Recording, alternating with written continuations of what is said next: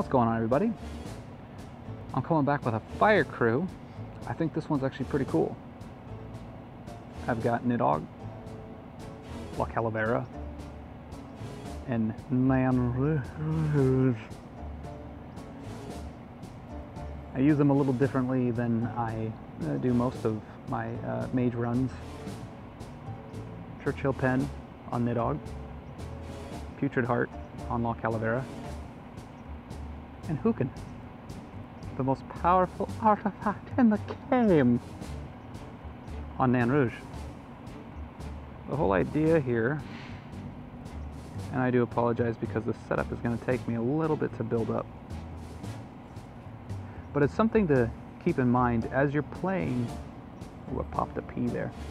As you're playing, sometimes it's good to kind of sit in the wave that you're in so that your monsters can either accrue damage or armor or health, wh whatever it is that you're trying to build.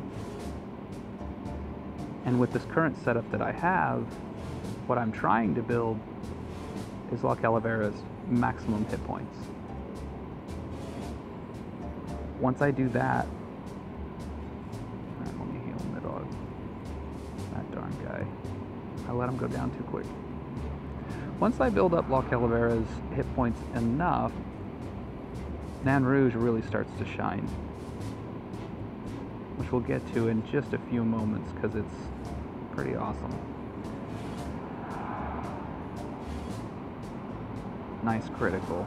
Thanks, La Calavera. And now you'll see attack priority with the mage down in the third slot. Healer takes priority. Again, I'll be talking more and more about this as my videos go, as my videos continue. Sometimes it's hard to talk and play at the same time. So you see here, um, when I didn't want to. Really what I'm trying to do is I'm, I'm trying to ensure that I get to stay on wave one for as long as I want to and that the game doesn't dictate when I have to leave it. Sometimes that's hard to do though. Especially when you critical so much. Normally it's the other way around. Normally it's AI that's criticaling on me a whole bunch. La Calavera is really good because she has a three chain. And every single power gem you pop gives you two skill points. Well, for the small ones. The medium ones give you three, the large ones give you four. I think we're almost ready to fly here. We are we are just about ready. Let's see. I'm gonna I'm gonna see if I can get one one more round in, and then we should be good to go.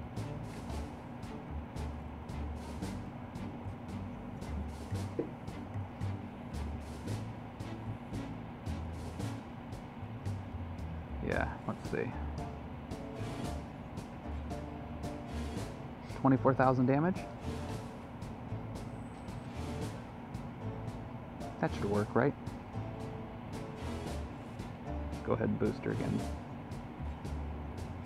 45,000 damage.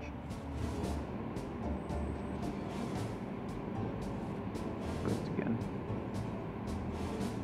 67,000. Should be enough.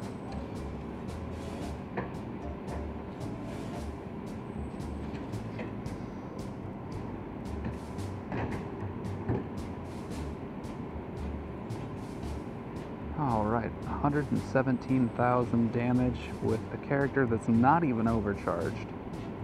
145.